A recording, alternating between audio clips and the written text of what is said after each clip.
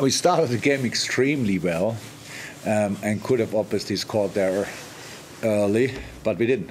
We were good in the game. We played much better. We didn't lose the tie tonight. We lost the game, obviously, in Madrid. That's clear.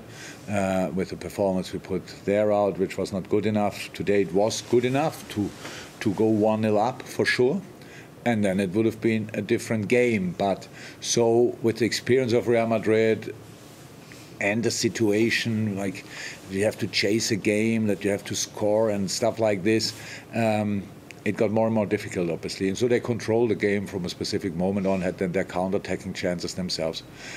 With two good performances we would have had a better chance to go through. One good performance without scoring then anyway um, um, was not enough